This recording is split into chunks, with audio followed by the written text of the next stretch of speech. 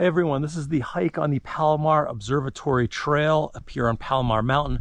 There's a lot of different Palomars thrown out there you might have seen for different trails, different parks.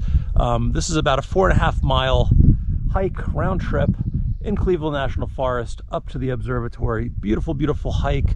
Lots of places to um, to rest along the way, benches, nice viewpoints, beautiful pines and cedars, and all the beautiful trees that are up here on the mountain. It feels more like the, the kind of southern Sierra Nevada than it does Southern California or even San Diego. It's beautiful. You can see right now there is snow up here. Got a little dusting. It doesn't normally snow, so don't expect these conditions, but it does happen occasionally. And when you get to the top of the trail, you can most of the time visit the observatory, Palomar Observatory, which is I'll show you how to get to the observatory on the website in the article. If you're not familiar with my videos, I have a corresponding article, hike guide with maps and recommendations, parking, permits, all of that information. And that uh, is on hikingguy.com. There's a link to that, a link to that right underneath the video. So make sure you check that out if you want to do the hike. But otherwise, let me show you the turn-by-turn directions um, on this beautiful trail to get here to this not so beautiful gate hike starts at the observatory campgrounds, which is actually a uh, pretty popular spot for amateur stargazers. So that's cool. I talk about that on the website if you want to check that out. And there is a permit, so make sure you deal with that. But from parking lot, you just go through these fences right here. And off to the right, when you get through here, there's some picnic benches. We're not going to go there. We're going to go off to the left and head up here. You can see there's this old sign. I think that's an old National Recreation Trail sign. This is one of the only national recreation trails here in San Diego County. I think there's four of them. But we're going to go kind of up and around those picnic benches and go up that hill right there. Once we go up the hill, kind of wind around on the ridge here, leave those picnic benches behind. And you can see the trail is uh, pretty easy to follow, even in the snow. And again, apologies that there's snow here. Um, it's a little bit tougher to show you, but overall I can show you how to get up there.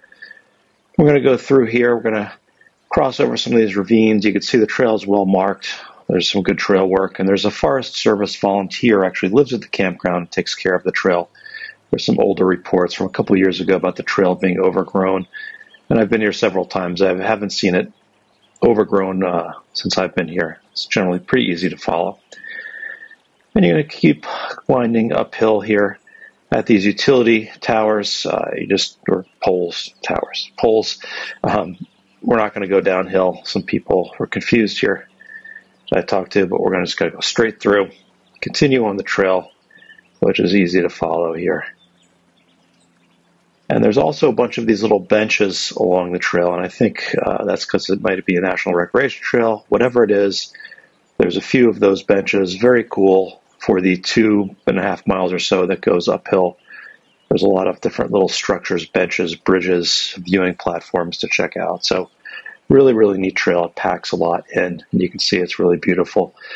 It's mostly shaded, but at some point you're going to come out, you're going to see out to the next mountain over there and uh, into the Mendenhall Valley straight ahead.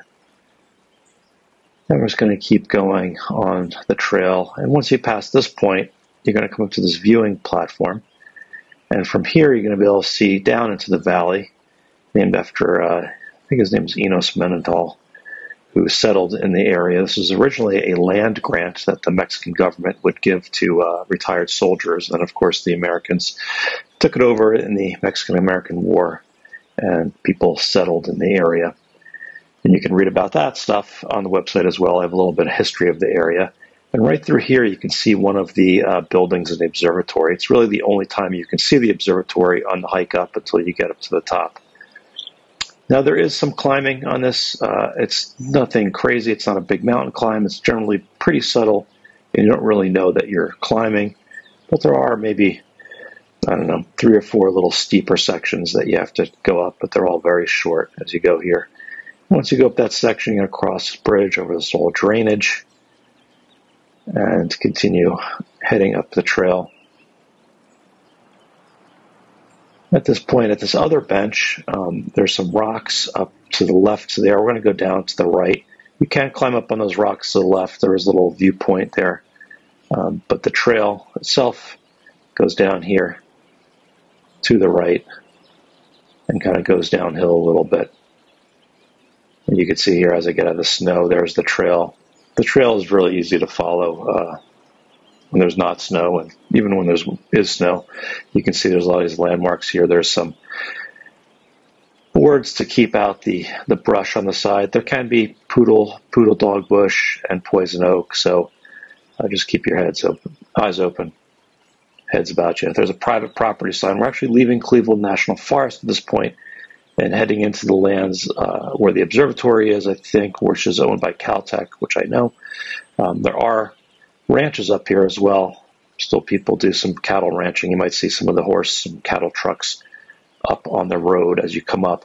Speaking of the road, there it is.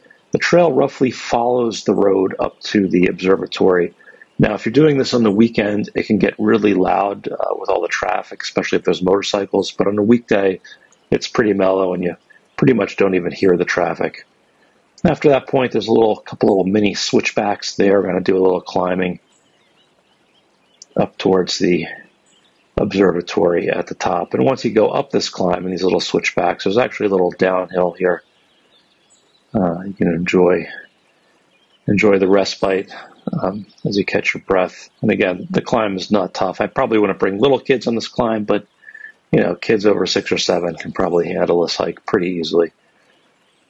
Once we go down, we're going to come to another bench, and we're going to head to the right here, there to the right to continue on the trail. And soon after this, we're going to see another private property sign. No spitting, no cussing, no drinking. You are allowed to stay on the trail through this private property, just as an FYI, you're not trespassing when you enter here. And then shortly after that, you're going to come to the end of the observatory trail, which is right here, and you're going to come out on the road.